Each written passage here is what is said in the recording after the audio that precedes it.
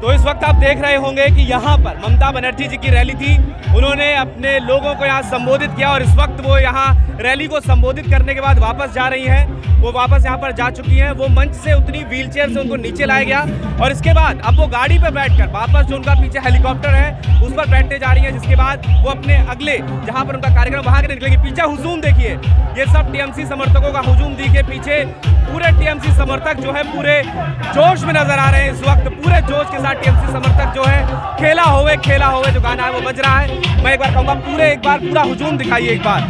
ये देखिए, पूरा हुजूम। और ये वो मंच है, जहाँ से अभी अभी बिल्कुल यहाँ से ममता बनर्जी जी वापस लौटी हैं और वो अपने अगले गंतव्य के लिए आगे बढ़ रही है।